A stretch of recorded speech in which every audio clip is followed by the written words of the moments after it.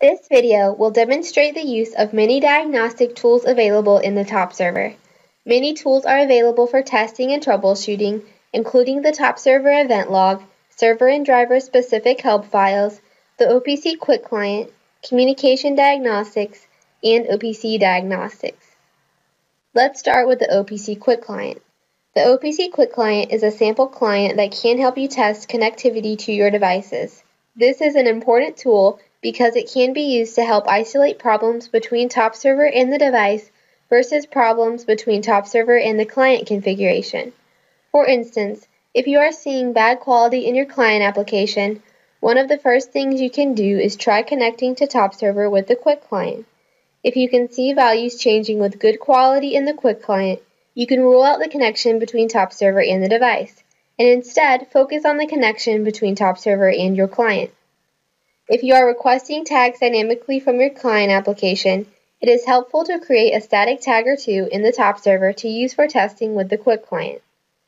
The Quick Client can be launched from both the server and the Start menu. To launch the Quick Client from the server, just click on the icon labeled QC.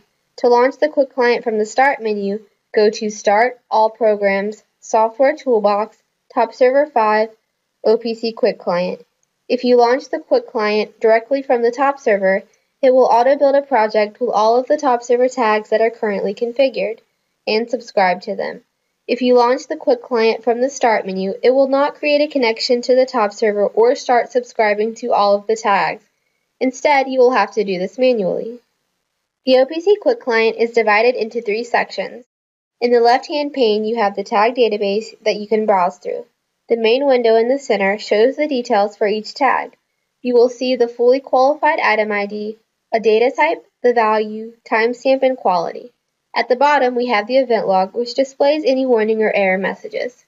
In order to view data for static tags created in the server, click on the group called channel.device. TopServer also has many built-in system and statistic tags for monitoring communication and providing general error feedback to client applications.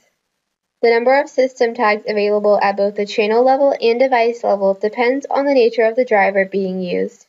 In addition, application level system tags allow client applications to monitor the server's status. Any system or statistic tags available can be seen in the Quick Client. Descriptions for any of these tags can be found in the server help file under Tag Management. Speaking of the top server help files, let's take a look at those now. The top server installs two different types of help files, the server help file and the specific driver help files.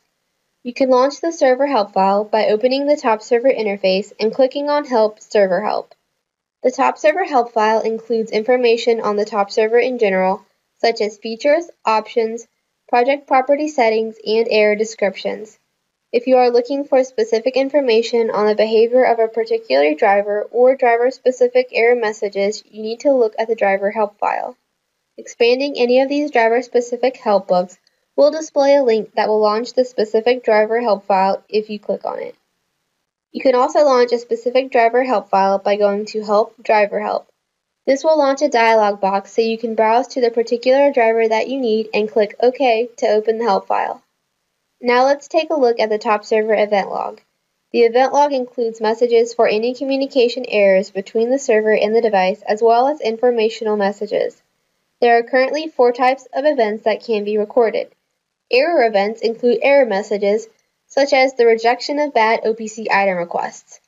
Warning events include warning messages such as device not responding.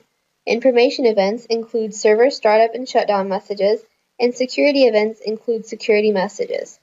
For example, if you are seeing a message in the event log that says attempt to add item failed, this means a client attempted to access a tag with the incorrect syntax. This error should be resolved as it can cause performance problems in the server. To resolve this error, remove or correct the tag address within the client. You can also choose what types of messages you want to include in the event log by right-clicking on the event log and going to the event filter. By default, we show all events, but you can set it to show just error events or warning events to help locate errors in the event log. The event log can also be saved as a text file by right-clicking and choosing Save as Text File. Error message descriptions and suggested solutions can be found in the top server help files. The top server communication diagnostics allow you to capture the protocol packets that are being transmitted and received between the server and the device. This allows us to verify that the expected sends and receives are occurring for a particular protocol. Diagnostics are not enabled by default. They can be enabled when you first go through the process of setting up a channel, but they can also be enabled and disabled through the Channel and Device Properties window. Then you simply need to click the Enable Diagnostics box and click OK. You can launch the actual diagnostics by right-clicking on the channel or device and going to Diagnostics. This is what we would expect to see in the channel diagnostics. Now please remember that the top server must have a client application connecting to it requesting information in order for anything to show up in this window. The top server will always just sit there passively and do nothing until a client application connects to it and starts requesting data. You can save these diagnostics by right-clicking in the window and choosing Save as Text File. The OPC diagnostics are only useful if your client application is making an OPC DA connection to the server. It captures the OPC requests and responses between the client and the server to show the OPC calls being made.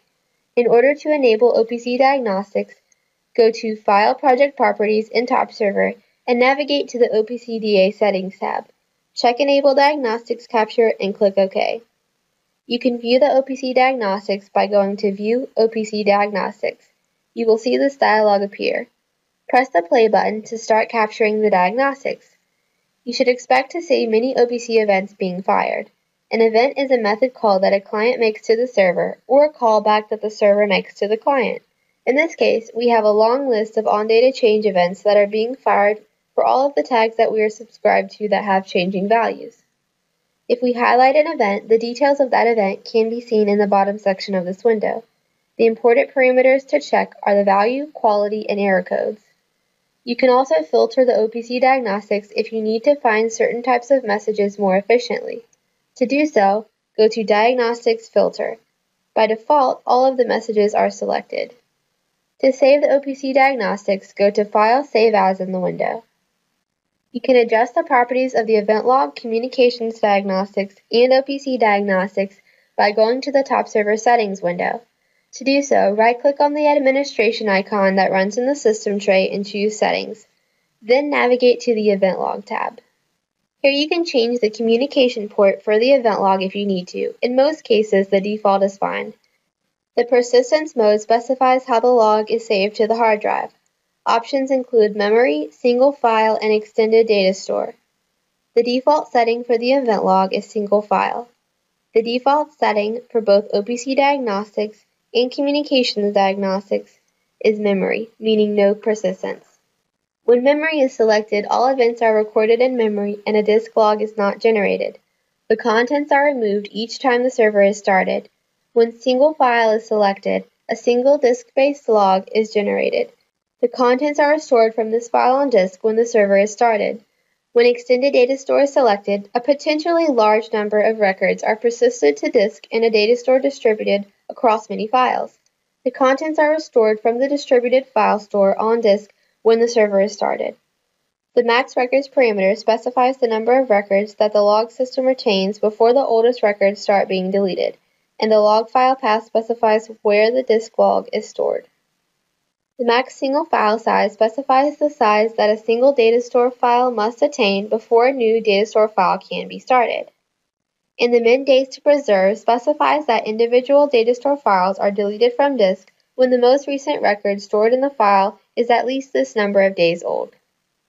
When seeking help troubleshooting a communication issue, it is important to generate an application report to go along with a description of the problem. You should also include the operating system and the versions of any client application being used with the top server. The application report utility generates a report that includes information about your system and details on the top server installation. You can launch the utility by going to Start All Programs, Software Toolbox, Top Server 5, Utilities, Application Report. In most instances, you will leave the default options selected. Click Next through each window until you receive a dialog that displays where the report is stored by default. You can create a new folder and save it in a different location if preferred. You should see these files within the top server folder in the application report.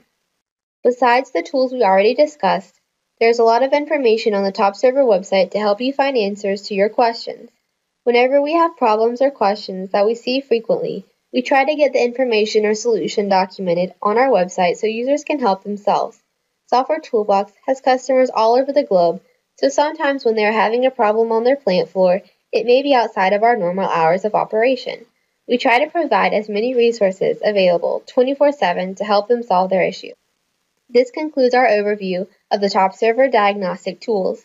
As always, our support team is available to help you every step of the way. If you find you have questions or need any assistance, please do not hesitate to contact us.